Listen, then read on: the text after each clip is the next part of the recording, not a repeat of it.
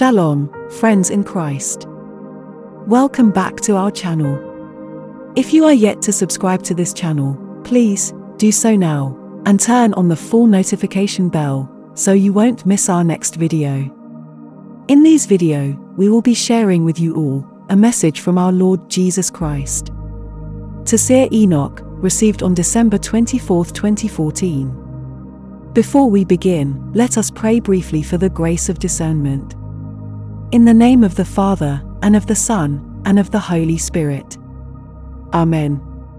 O Lord, please teach us how to respond to the leadership of the Holy Spirit. Let us be prayerful and sensitive so that we can understand every instruction that the Spirit offers.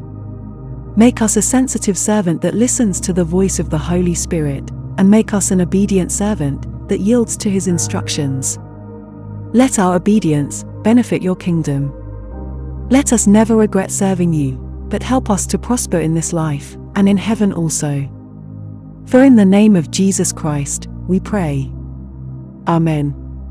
Brothers and sisters, it is advised that we learn to share heaven's message immediately after watching it, to at least one person. The aim of this is to help increase the reach of this message to more people. God bless you all as you watch this message to the end. Our Lord Jesus began Peace to you, sheep of my flock. During the time of my adversary, all the technology of this world will be at his service. Already, trial runs and installation into electronic apparatus is underway of technologies which will emit waves into the brain to modify human behavior. By means of those telephones that you call cellular, all my adversary's malice and deception will be spread, that being of iniquity will communicate holographical with humanity, by means of the cellular, and all technology will be used to subjugate the human population. My children, the evil use of technology is robbing the soul of my youths, and it will be they who are the most vulnerable in the time of my adversary, because the young are more prone to use this technology of death. During the time of the New World Order, all technology will be used to manipulate the human will.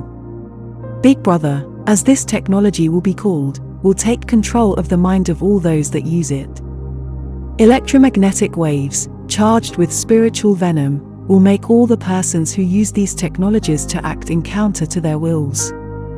They will act as zombies and savage wild beasts. They will be handled like marionettes.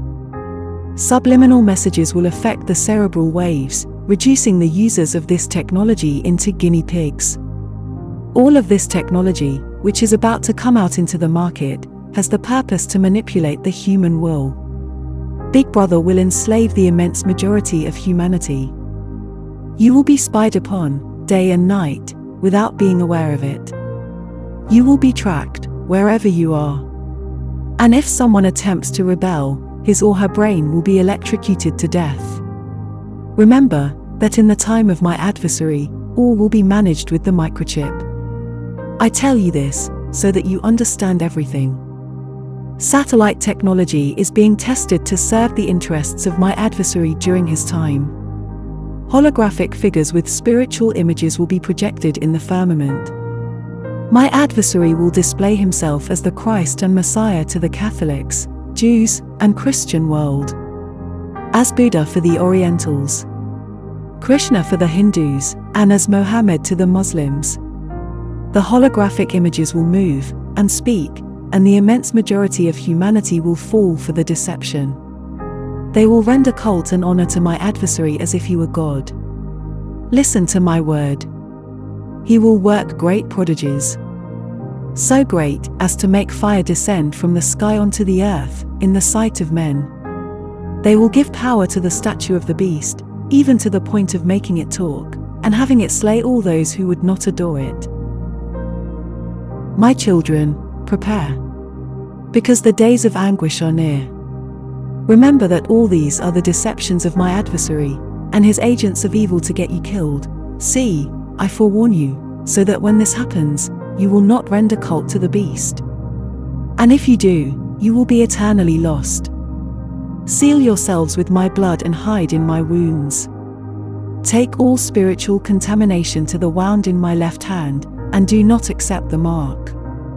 Neither should you use the technology of death that is about to come, for it will be at the service of my adversary.